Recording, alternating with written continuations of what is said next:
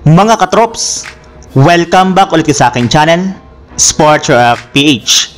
At ngayon nga ay pag-uusapan natin ang balitang 11-0 na nga na po si Nikola Jokic kina Stephen Curry at LeBron James. Pag-uusapan na rin nga natin dito sa ating panibagong video, ang balitang may partida nga na po ang Los Angeles Clippers sa kanilang game laban sa Los Angeles Lakers.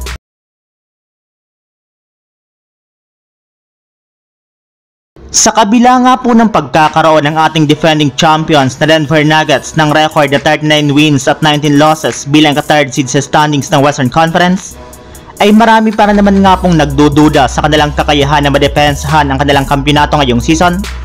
Gayong humina nga po ang kanilang bench sa pagkawala dito ng ilan sa kanilang mga mahalagang role player. Pero kahit na ganun mga katrops, ay hindi para naman nga po natin kailangang malitan ng Denver Nuggets lalo ang kanilang MVP na si Nikola Jokic. Lalo pat bukod nga po sa katotohanan isa pa rin sila sa mga pinaka-consistent na team ngayong season, ay nananatili pa rin nga po itong undefeated laban kina Stephen Curry at LeBron James.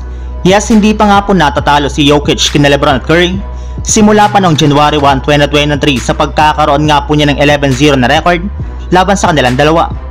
Kaya mukhang wala pa rin nga pong panama sina Stephen Curry at LeBron James kay Nikola Jokic na tinuturing na best player ngayon sa buong NBA. Samantala, punta naman tayo sa ating sunod na pag-uusapan sa balitang may partida nga po ang Los Angeles Clippers sa kanilang game laban sa Los Angeles Lakers. Dahil nga po sa pagkakapanalo ng Golden State Warriors ngayong araw laban sa Washington Wizards sa score na 123 to 112, ay naungusan na nga po nilang Lakers pagdating sa ikasyam na pwesto sa standings ng Western Conference sa kanilang kasalukuyang record na 30 wins at 27 losses.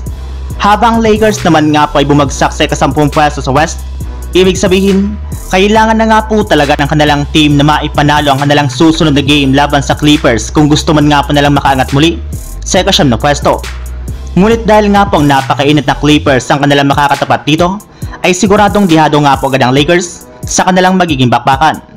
Mabuti na lamang at magkakaroon na rin naman nga na po ng partida sa kanilang magiging laro ang Los Angeles Clippers.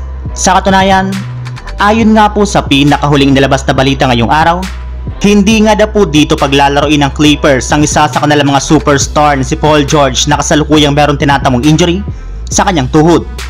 Kaya dahil nga po dyan ay mukhang magkakaroon nga po ang Lakers ng malaking oportunidad na lumamang at talunin ng Clippers habang hindi pa fully healthy ang lineup nito sa kanilang magiging laro bukas ng umaga. So yun lang mga katrops, ang handog kong story ngayong araw.